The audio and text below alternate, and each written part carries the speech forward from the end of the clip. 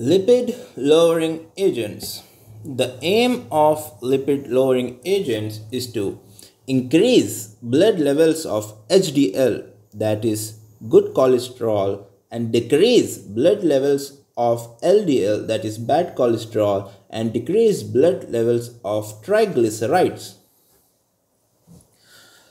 So, here number one is HMG CoA reductase inhibitors.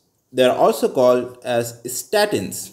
Examples atorvastatin, simvastatin.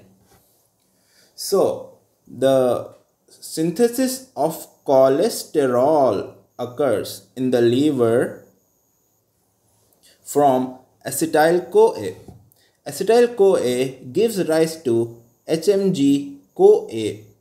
HMG CoA under the action of HMG CoA reductase gives rise to mevalonate. Mevalonate in turn gives rise to cholesterol.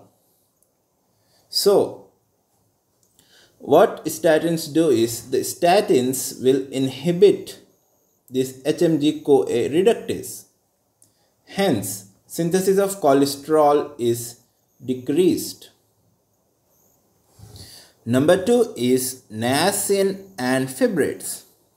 Triglycerides in the blood vessel goes to adipose tissue under the action of lipoprotein lipase and triglycerides from the adipose tissue goes to blood vessels under the action of hormone sensitive lipase so what fibrates do is fibrates Examples gem gemfibrozil, fenofibrate. What fibrates actually do is they stimulate lipoprotein lipase.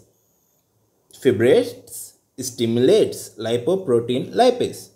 So, uh, triglycerides from the blood vessel are moved to adipose tissue. Hence, the triglyceride level in the blood vessel is decreased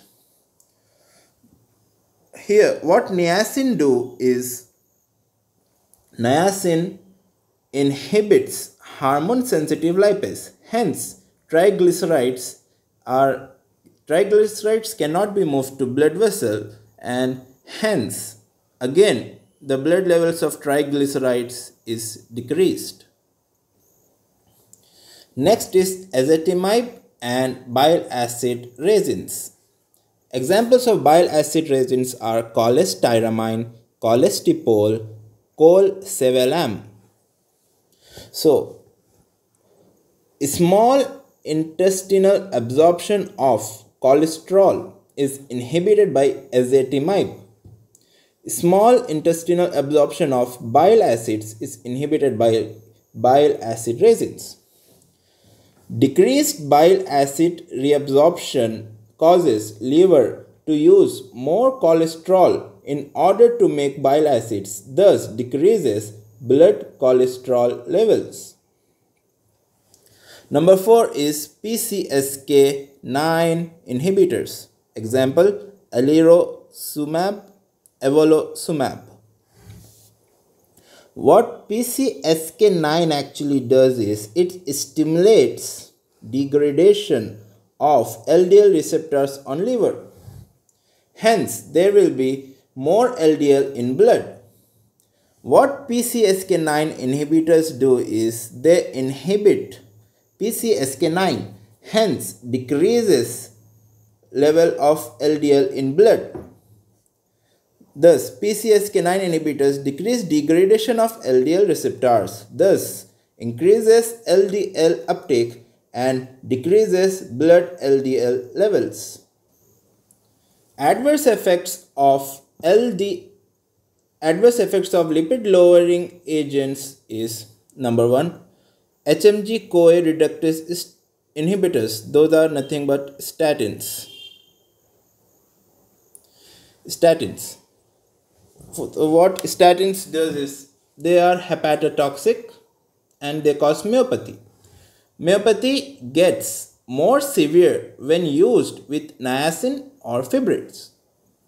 Side effects of bile acid resins are deficiency of vitamins A, D, E, K. These are fat soluble vitamins. Side effects of niacin are hyperglycemia, hyperuricemia, and flushed face. Here, flushed face is due to prostaglandins, very important. Number 4. Fibrates. Side effects of fibrates are cholesterol gallstones, myopathy. Thank you.